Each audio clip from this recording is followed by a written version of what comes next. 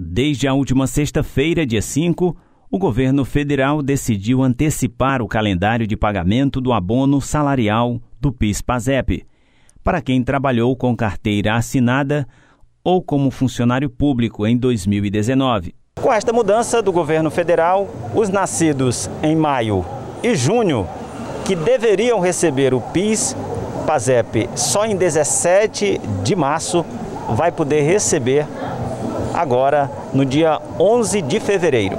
Com isso, para os funcionários públicos, a antecipação do PIS-PASEP para quem tem inscrição com final 8 e 9 vão poder receber já no próximo dia 11 de fevereiro, mesma data de quem tem a inscrição final 6 e 7. Quem tem conta na Caixa Econômica e Banco do Brasil receberá o dinheiro já nesta terça-feira, dia 9 de fevereiro.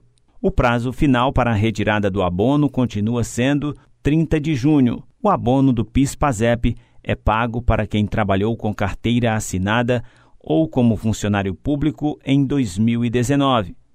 Recebe o benefício quem trabalhou formalmente por ao menos 30 dias em 2019, consecutivos ou não, estar inscrito no PIS ou PASEP pelo menos cinco anos, ter recebido remuneração mensal média de no máximo dois salários mínimos em 2019. Outras informações no site da Caixa, o app Caixa Trabalhador ou ligar para 0800 726 0207.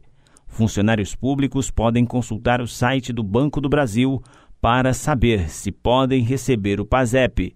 O valor é proporcional ao tempo de serviço em 2019. Se trabalhou 12 meses, receberá o valor de um salário mínimo, que neste ano é de R$ 1.100.